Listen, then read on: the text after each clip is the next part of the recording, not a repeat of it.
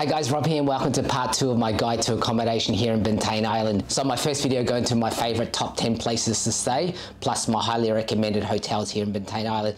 So at the end of this video, please check that out. So in this video, I'm going to show all the accommodation that just didn't make it in that first list. Now there's some real hidden gems still in this list as you'll see. And if you're looking for some budget accommodation or some long-term stays, this also is the video for you. So let's get to it. On Bantayan Island, most of the accommodation options are located in the bottom left corner in the town of Santa Fe. That's where the beautiful beaches are located. So this first place is a relatively small place, an unassuming hotel located here on the map. I'm checking out Balai ni JK here in Bantayan Island. I'm on the first floor here, which gives you a fantastic view of the ocean, which I'm going to show you in a sec. We're going to check out this whole place in more detail. As you can see, it's just meters away from the beach and it's also walking distance to Santa Fe town. So I just wanted to show you the lounge area that they have at the start of the corridor. So it's got the neon lights out here. So also there's a water dispenser, you can get hot water so you can have a coffee or tea or something here. Just chill out on the chairs or table. You can do your internet here. The Wi-Fi isn't too great on this floor. It's better down at the lobby. Even then it's pretty slow really. It's got 10 rooms and the place has been renovated since I last came here and it's a definite improvement. So this is the ground level floor rooms and they're not too bad, but the ones above are a little bit nicer. So these are the rooms on the first level. They're modern, nicely styled. The rooms have aircon, a small cable TV. These rooms have a balcony with a semi view of the ocean. The bathroom is a little bit small, but it was modern and clean. So overall, I think this place is a decent option for an affordable place in Bantayan Island. They have a Facebook page which you can contact them through. They also can be booked through third-party sites like booking.com and Airbnb. Sunrise Beach Club Resort is a beachfront resort and it's actually just next door to the other hotel I just showed. It has its own garden compound area and it has six rooms including a two bedroom house, a one bedroom house and four single units. It has a concreted wall facing the beach and there is a gate in the wall that you can access the beach. There's some shady cottages to laze under. As you can see there's a bit of a garden area and it looks quite nice. Nothing flashy though, just something to enjoy the beach ambience. So the rooms here are pretty simple, the units look decent enough. I only visited this place, so this is just my initial impression. The rooms came with aircon, cable TV, the bathroom had hot and cold water showers. The one bedroom house, good for up to four people, had cable TV, minibar. It also has hot and cold water showers. The two bedroom house can accommodate up to six guests. They have a Facebook page where you can contact them direct. This is their calling card and they have a website that you can book directly on. As you can see on screen, rates for the various room types. You can also book through third-party sites such as Airbnb and Agoda. Stevrena Cottages used to be called Bantayan Cottages and is located just off the highway, quite close to the pier. To one side there are a few cottages. The standard cottages are good for two, and there's also a cottage good for up to six people.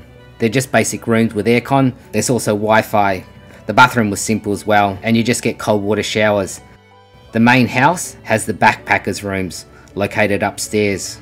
These are simple fan rooms. So as you can see, very minimalistic. Basically just a bed, fan and wardrobe. These rooms had a shared bathroom, again with cold water showers. No thrills, but decent enough. There's a communal balcony for guests to hang out. There's also a little garden area with a couple of cottages. So if you're looking for cheap accommodation in Bantayan Island, these are pretty good value. You can book this via third-party sites such as Agoda and Booking.com, but it's cheaper to go direct with them, and you can contact them through Facebook. Althea Beach Resort is right on the beach. This is a budget two-star resort. I only visited the place, so these are just from my observations. They only had the standard room that I could view and I would describe it as really rustic. The bathroom was pretty basic as well. For me, probably not my cup of tea, but it may suit some people. There's also a restaurant on site. Here's some of the food that they offered. I like how it's located on the beach. It is elevated on a concrete wall though. So if you're looking for something cheap on the beach, this may suit you. You can contact them through Facebook and prices are shown. They can also be booked on third party sites like Agoda and Airbnb. And here's a picture of what the other room looked like. JRN's a new pension house. It's a multi-level building, just walking distance to the beach. It offers some modern rooms, complete with cable TV, aircon and Wi-Fi. This room here is good for four people. It's clean but it's a simple room. It was a decent size and above the door area was a cable TV. And they had two showers in this one. Hopefully when you shower you're not too shy in front of other people. There was a little kitchenette outside. It wasn't finished when I visited, but it should be now. The first floor and above do give you views of the ocean. This room is good for two. Again, not too bad at all. And it came with the same facilities. This room had a hot and cold water shower. Everything here is pretty modern. So this is the rooftop area. They said at the time of my visit they were going to have some chairs and tables out here. As you can see it has some great views of the ocean. Overall it looked like a decent place to stay. You can contact them via Facebook, the rates as shown. They also can be booked on third party sites like booking.com. Anahaw Seaside Inn is next and you may remember this place as the Nordic Inn if you're familiar with Bantayan Island. It's been renovated since then and it's definitely an improvement as you can see. It's walking distance to the beach. Breakfast was included in my room rate. The double rooms are a little bit small, but are neat and tidy. They come with cable TV, aircon and Wi-Fi. The bathrooms also have been renovated. It is a little bit small, but again everything else associated with the bathroom was nice.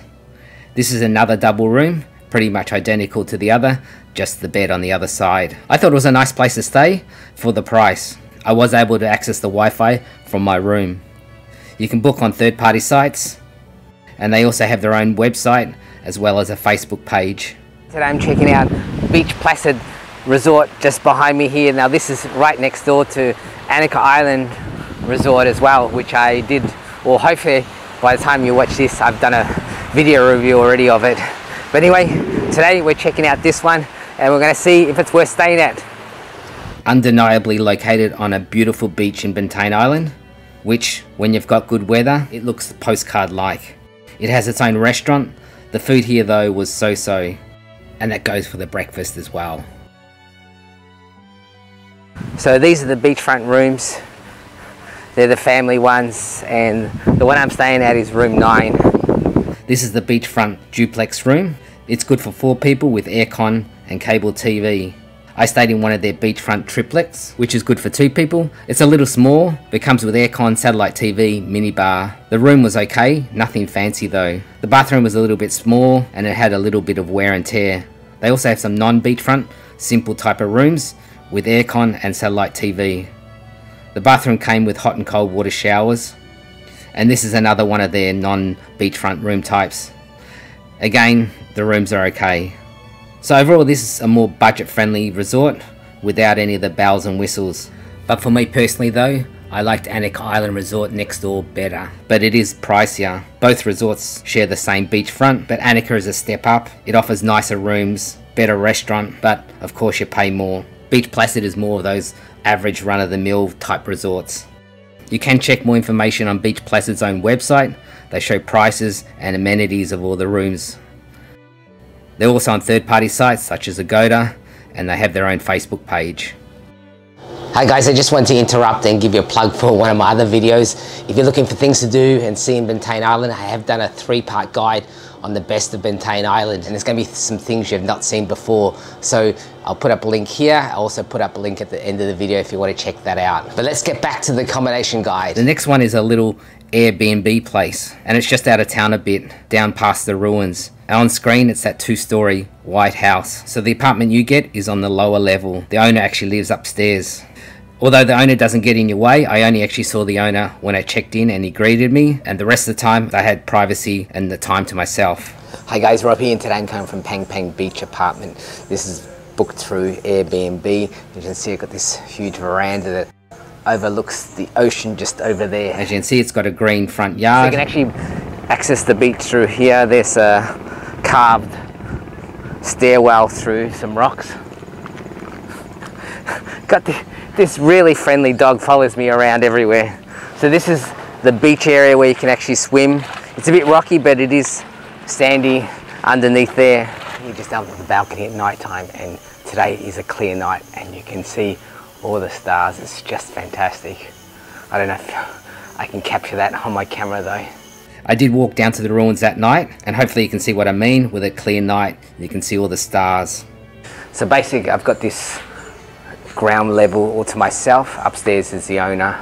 It opens up to a living area and kitchen. Good size area, that cable TV. The kitchen comes with all the amenities to cook and eat with. Stove, microwave, complimentary water, and all the cutlery you could possibly need. The kitchen and the living area only has a fan. As you move towards the bedrooms, there's actually two bedrooms and two bathrooms. This is the main bedroom area, and just to mention there is Wi-Fi here too, which speeds are okay. And there's aircon in the bedroom. This is the bathroom. The shower water was lukewarm though. So this is the second bathroom and the second bedroom. I thought the place was pretty good. You can book this via Airbnb. So this place is a little bit difficult to find. It's at the end of a street and you have to walk through this basketball court and it's right out there on the beachfront. Mac Est is a little place with three rooms right on the beachfront. It's a nice little spot actually, not too far out of town. So I booked this room. It's a bit rustic, but decent for the price you pay. It had aircon, Wi-Fi, TV though only had local channels. There was a little sink on one side. This is the view you get of the beach. The bathroom was a little small and came with cold shower only. The day I stayed here, the beach looked gorgeous and you can see the images just reflect this. So you can just walk out and you're onto the beach. This is a fan room, it's 1000 So cheap and bare to the bones. And use a common CR. This is room 3 it offers a little bit more in facilities such as a minibar and satellite TV. It's their best room here, but keep in mind it is a budget hotel. At the front there's a small sink. The bathroom in this one came with hot and cold water shower. This is the layout of the resort and they also had a little store for snacks. It's a family run place, nothing fancy about it. It provides cheap, no frills beach accommodation if that's what you're looking for. They're on Airbnb or you can contact them via Facebook. SMAK's Hotel is located in Santa Fe Town. As you walk in, on the right is a shady area to sit down, and it's also where you have your breakfast. At the back is where the rooms are located. On the ground level, they have two apartments, more suited probably for longer term stays. Apartments come with two bedrooms. As you can see, it's roomy, it's tidy, and it's a nice looking place. These apartments come with two bedrooms. This is the first bedroom with its own bathroom, hot and cold water shower. On screen is the second bedroom, again nice and clean, and here's its bathroom, also with a hot and cold water shower. This is the kitchen area with facilities to cook and eat with. There's also a fridge. It's a really decent place. Gets a thumbs up from me. I stayed upstairs in one of their hotel style rooms. These rooms are nice and spacious and clean. Now the TV only had Netflix, which I didn't actually get time to check out. The bed was nice and comfortable and they also had a balcony, a nice place to relax. The bathroom is good, modern and clean. It had hot and cold water shower. At the front of the rooms they had a water dispenser. For me, I enjoyed my stay. It's a good mid-ranged hotel. You can contact them via Facebook. They can also book through third-party sites like booking.com. And you can see the prices when I stayed. They also can be booked on Airbnb. Check them out. NNF Guesthouse provides some affordable accommodation in Santa Fe town. It's a multi-level building, walking distance to some of the restaurants in town, as well as walking distance to the beach. The rooms are decent, satellite TV, aircon and Wi-Fi. Most rooms come with a balcony, but not all, and depending on which way your room faces, you may be able to get a good view or a street view. The bathroom is clean, with cold water showers. This is a room good for two, decent but no frill rooms. The balconies facing the east have the best views, as you can get some semi views of the ocean. Anyhow, this place is not too bad. Good location as far as walking distance to most things.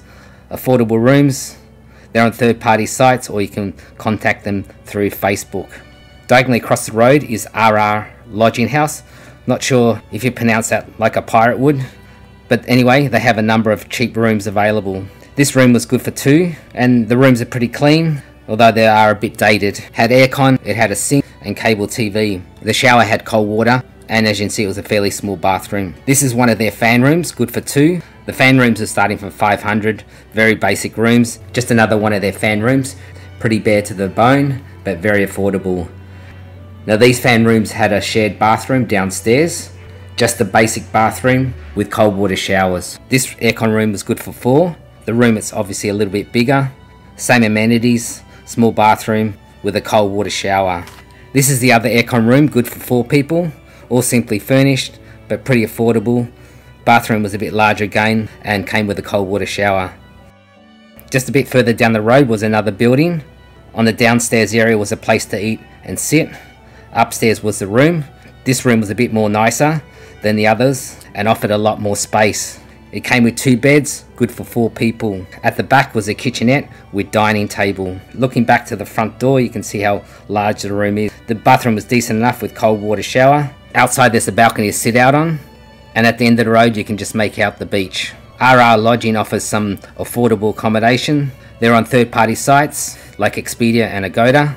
They also have their own Facebook page, rates shown at the time of making this video. Another option for a budget place to stay, which is in town, is Onde Guest House. So it offers six budget rooms with balconies, a mix of aircon and fan rooms surrounding this small garden area. So this is the aircon room, just basic rooms, very rustic. They do allow to add an extra person or rather an extra mattress. The bathroom had cold water showers. There's also a communal kitchen. These are the contact numbers and they have a Facebook page with prices as shown. Annie's Rest House is just meters away, a small family run place with some affordable rooms. I was only able to check out one of the rooms due to the guests.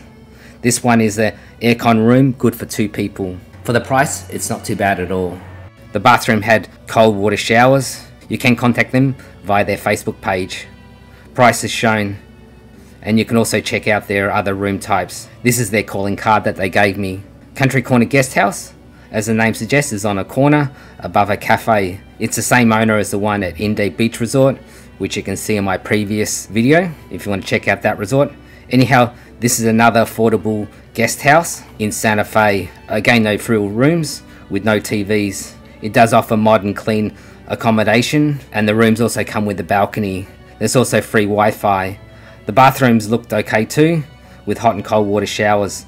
Downstairs at the cafe, you can get a nice breakfast. They are on third-party sites such as Booking.com and Agoda. At the time of making this video, I couldn't get rates on those third-party sites.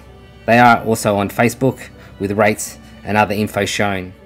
The Victorian is a boutique hotel in the style of a Victorian mansion located on the highway. It offers some nice affordable accommodation they were clean and had cable TV, aircon. They did tell me the Wi-Fi may not reach the rooms and it's best downstairs. The bathroom had hot and cold water showers. They have their own webpage which you can check out their rates and facilities. They also can be booked through third-party sites such as Agoda and they have a Facebook page if you want to contact them directly. They were showing a couple of promos they were offering at the time. Okoy Beach House is a family-run place where they rent out some rooms for me, it goes down as one of the most friendly places I stayed in all of Bantayan. They've got parking out front.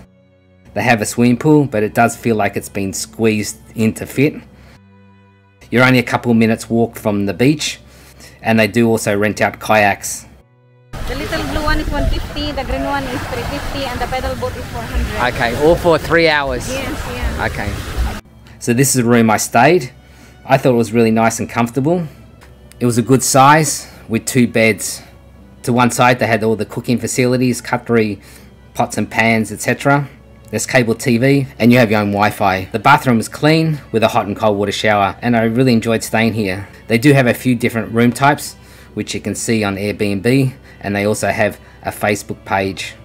In Santa Fe another budget option is Captain Daddy made up of two buildings and they do have a common dining area. What you get here is some no frills budget rooms. This room is good for two.